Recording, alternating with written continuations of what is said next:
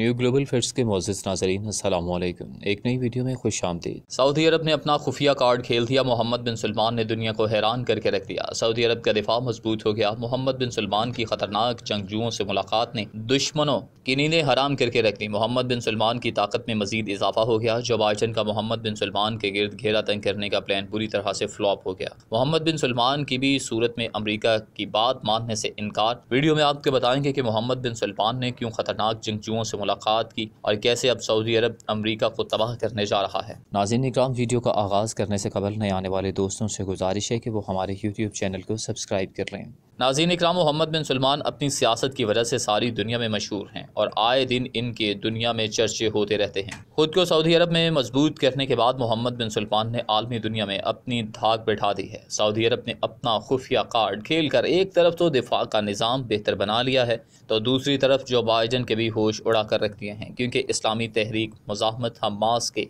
खारजा अमूर के सरबरा मोहम्मद नजाल ने हमास के एक वक्त की सऊदी अरब के वली अहद शहजादा मोहम्मद बिन सलमान से मुलाकात का इंकशाफ किया है। नाजीन ग्राम मोहम्मद नजाल ने बताया कि हमास की क़्यादत की सऊदी अरब के वली अहद मोहम्मद बिन सलमान से मुलाकात इस वक्त हुई थी जब बिन सलमान नायब वली अहद थे। ख्याल रहे कि मोहम्मद बिन सलमान अप्रैल 2015 से 21 जून 2017 तक नायब वली अहद रहे हैं। जिसके बाद इस वक्त के वली अहद शहजादा नायब बिन अब्दुल अज़ीज़ को माजूल करके मोहम्मद बिन सलमान को वली अहद बना दिया गया था। नाजीन इक्राम हमास रहनुमा ने बताया कि सऊदी नायब वली अहद यानी कि मौजूदा वली अहद से मुलाकात करने वाले हमास के वक्त की क़्यादत खालिद मशाल ने की थी। खालिद मशाल इस वक्त हमास के सियासी शोबे के सरबराह थे। उन्होंने कहा कि हमास की क़्यादत और मोहम्मद बिन सलमान के दरमियान एक और मुलाकात भी तय थी, मगर वो मुलाकात नहीं हो सकी। नजाफ ने बताया कि इस मुलाकात के बाद सऊदी अरब में गिरफ़्तार हमास रहनुमा माहिर सलाह को रिहा कर दिया गया था। माहिर सलाह आजकल हमास के बैरून मुल्क अमूर के जिम्मेदार हैं और वो मुतद साथियों समेत सऊदी अरब में कैद रह चुके हैं। मोहम्मद नजाल का कहना था कि सऊदी अरब के शाह फहद बिन अब्दुल अज़ीज़ और शाह अब्दुल्ला के दौर में हमास के सऊदी अरब के साथ खुशगवार ताल्लुक कायम उन्होंने बताया कि शाफाहत ने अपने बेटे शहजादा अब्दुल अज़ीज़ के ज़रिए हमास को पचास लाख रियाल का अतिया भी दिया, जबकि शाह अब्दुल्ला ने अपने बेटे शहजादा मतअब के ज़रिए हमास को एक करोड़ रियाल का अतिया दिया था। एक सवाल के जवाब में मोहम्मद नजाक ने कहा कि सऊदी अरब के मौजूदा सरबराह शाह सलमान बिन अब्दुल अज़ीज़ के दौर में हमास के सऊदी अरब के साथ ताल्लुक मज़बूत थे। इनके अहद में हमास की क़्यादत और सऊदी अरब के सबक intelligence chief Turki al Faisal और मौजूदा चीफ खालिद अल हमीद ने इनके साथ मुलाकातें भी की। मोहम्मद नजाक ने सऊदी अरब से मुतालबा किया कि वो गिरफ़्तार किए साठ फ़लस्तियों को फौरी तौर पर रिहा करे और इन पर दहशत गर्द तंजीम से वाबस्तगी के इल्ज़ाम साकित किए जाएँ। चंद रोज़ कबल खालिद मिशाल ने एक बयान में कहा था कि हमास ने सालिस ममालिक के ज़रिए सऊदी अरब में कैद हमास रहनुमाओं की रिहाई की कोशिश की है।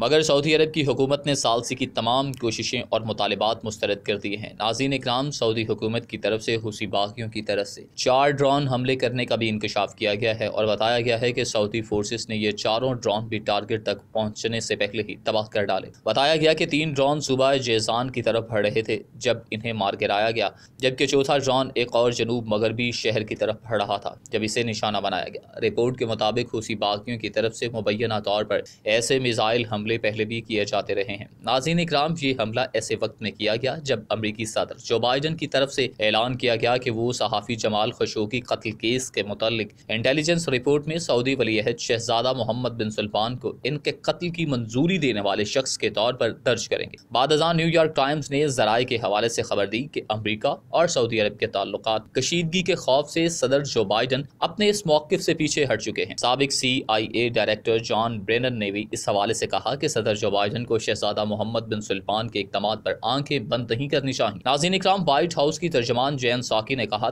कि अमरीका सऊदी अरब पर होने वाले हमले की मजम्मत करता है और यमन के तनाज़े के खात्मे के लिए सिफारती कोशिशें जारी रखेंगे। अल अरबिया नेटवर्क के मुताबिक जैन साकी ने एक सवाल पर कहा कि हूसी शहरियों पर हमलों समेत सऊदी अरब पर हमले करके जंग को तूल देने की ख्वाहिश का मुसलसल इजहार कर रहे हैं। फ्रांसीसी खबर रसा इदारे ए एफ़ पी के मुताबिक महकमे खारजा के तर्जमान ने भी हमले की मजम्मत की है। तर्जमान ने मुतालबा किया कि हूसी सदर जो बाइडन की तरफ़ से अन मुजाकर शुरू करने की कोशिशों में तामीरी तौर पर शामिल हों। नाजीन इक्राम महकमा खारजा के तर्जमान नेड रॉइस ने नामा निगारों को बताया कि यमन जंग का कोई फौजी हल नहीं है। हम फिर हूसियों से फौरी तौर पर इन जारहाना कार्रवाइयों को बंद करने पर ज़ोर देते हैं। वाज रहे कि वाशिंगटन ने यह बयान हौसियों के हमले के चंद घंटे के बाद जारी किया है। कबल अजीम, अमरीकी दफ्तर खारजा ने अल अरबिया को बयान देते हुए कहा कि हम सऊदी अरब में अपने इतिहादियों के साथ खड़े हैं। हमारे पास हूसियों से निपटने के लिए मुतद ऑप्शन हैं और इनमें पाबंदियों का ऑप्शन भी है। नाजीन इक्राम, दफ्तर खारजा ने यह भी कहा कि हूसी ईरान की मदद से सऊदी अरब पर हमलों के जिम्मेदार हैं। हूसियों और इनकी मदद जारी रखने वाले ईरान पर दबाव जारी रखा जाएगा और इनसे निपटने के लिए नए तरीक़ाकार पर भी गौर करेंगे। उधर खलीजी तावन कौंसल, यानी कि जी सी सी के secretary general Nayef al Hajraf ने सऊदी अरब पर हूसियों के ड्रोन हमलों की मजम्मत करते हुए कहा कि हूसियों की तरफ़ से बार बार दहशत गर्दाना हमलों की कोशिशें ज़ाहिर कर रही हैं कि वो आलमी बरदरी को खुला चैलेंज दे रहे हैं और तमाम आलमी कवानीन और रवायात का मज़ाक उड़ा रहे हैं। नायफ अल हजराफ ने कहा कि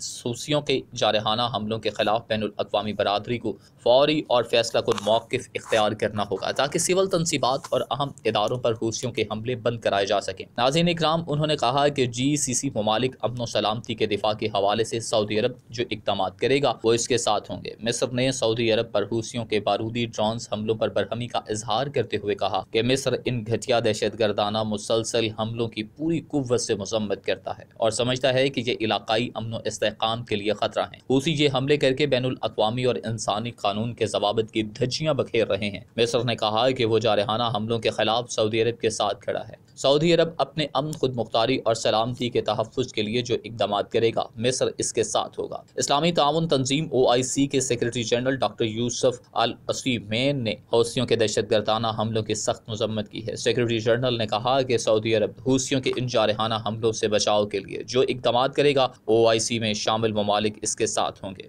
उन्होंने तोज्जो दिलाई के हूसी सऊदी अरब की सिविल तनसीबात और शहरों को निशाना बनाकर बैन अवी माहों और कवानीन की खिलाफ वर्जी कर रहे हैं। उर्दनी वजारत खारजा ने भी सऊदी अरब की आबादी पर हूसियों के मुसलसल हमलों की मजम्मत की है। उर्दनी दफ्तर खारजा के तर्जमान जैफुल्ला फैज़ ने कहा कि हूसी दहशत गर्दों के मुसलसल बुजदिलाना हमलों के हवाला से उर्दन का मौक़ गैर मुतजलजिल है। उर्दन इनकी मजम्मत करता है और सऊदी अरब के साथ खड़ा है। उर्दन के तर्जमान ने कहा कि सऊदी अरब और उर्दन का अमन अटूट अकाई है। सऊदी अरब के अमनो अमान पर कोई भी हमला उर्दन के अमनो इसकाम पर हमला है। कुछ टाइम पहले तक भारत, ईरान अच्छे दोस्त थे, लेकिन अब ईरान और चीन में एक हौसला मंदाना माहा हुआ है, जिस पर अब पूरी दुनिया की नज़र है। दोनों ममालिक के माबेन जो स्ट्रेटजिक और तजारती माहा आइंदा पच्चीस सालों तक काबिल अमल होगा। तहम इस माहे के चंद ही रोज़ बाद मंगल को खबर आई कि ईरान ने इंडिया को चाबहार रेल मनसूबे से अलग कर दिया। तेहरान ने इसकी वजह इंडिया से फ़ंड मिलने में ताखिर बताया है। चार साल कबल ईरान और इंडिया के दरमियान अफ़गानिस्तान की सरहद पर चाबहार से जाहिदान तक रेलवे लाइन बचाने का माहा हुआ था। अब ईरान ने खुद ही इस मनसूबे को मुकम्मल करने का फैसला कर लिया है।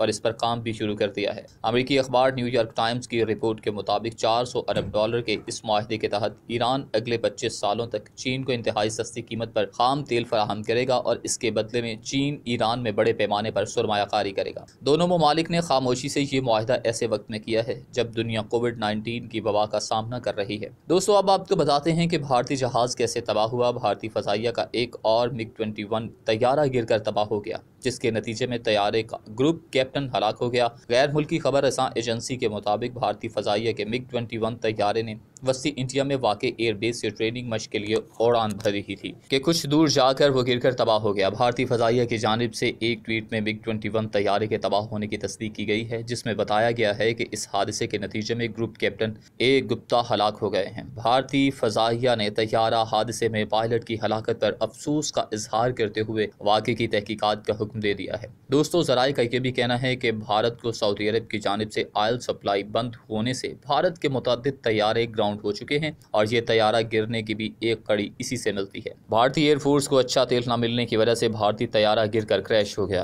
आखिर में एक बार फिर तमाम दोस्तों से गुजारिश है कि हमारे चैनल को सब्सक्राइब करते चलें और साथ बने बेल आइकॉन को भी दबा दें ताकि हमारी हर नई वीडियो आपको आसानी मिल सके। शुक्रिया।